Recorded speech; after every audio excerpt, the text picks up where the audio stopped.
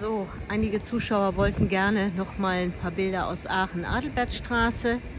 Hier, die Straße gehe ich jetzt gar nicht runter, da ist äh, ganz viel Leerstand. Und was wieder da ist, interessanterweise, war ganz weg aus Aachen dieser Laden, der, äh, den kenne ich noch aus meiner Jugend, der war mal an einer anderen Stelle, der war weg aus Aachen, aber jetzt ist er wieder da. Also der war mal hier an dieser Stelle. Alte Aachener können sich daran noch erinnern. Es ist ein Laden, die haben alles und relativ preiswert. Ich hatte den ja während meiner Reise in Berlin, hatte ich den ja in Berlin noch mal gesehen. Und jetzt ist er in Aachen auch wieder da. Und hier, hier war mal eine Apotheke, ist jetzt zu vermieten. Und kommt scheinbar oder war geplant und kommt jetzt doch nicht. Ein Frozen Joghurt. Hier sehen wir leer, leer, leer. Hier auch da. Wie gesagt, Zuschauer hatten darum gebeten und ihr Wunsch wird erfüllt.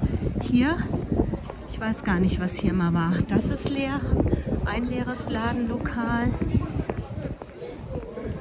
Hier noch ein leeres Ladenlokal. Hier sitzen übrigens überall Bettler, die möchte ich jetzt nicht filmen. Noch ein leeres Ladenlokal hier, das ist schon ganz lange leer. Äh, das war mal früher, auch da können sich die Aachener noch dran erinnern. Das war mal Wehmeier. Und danach, ich glaube, da war danach gar nichts mehr drin das ist so die Adelbertstraße. War mal auch. Hier auch noch ein neues. Sehe ich auch zum ersten Mal, dass das leer ist. Und da ist leer. Wiki oder was das ist. Ach, das war mal ein Vodafone-Shop scheinbar. Und äh, ja, so sieht es hier aus. So sieht es hier aus. Also nicht wirklich eine sehr einladende Einkaufsstraße. Aber ich will ja nicht negativ sein. Ich hatte ja auch schon mal gesagt, Vorschläge für die Stadt, bisschen Musik, äh, paar Blumen, vielleicht ab und zu mal so eine Aktion, im Frühling vielleicht eine Modenschau oder sonst was. Man kann ja alles Mögliche machen, damit die Leute nicht im Internet einkaufen.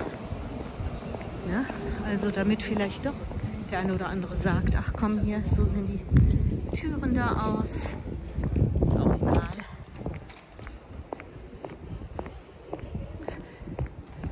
Und ja, und hier sind wir dann Ende der Albertstraße angelangt und kommen jetzt, mal hier rumgehen, in Richtung Damengraben.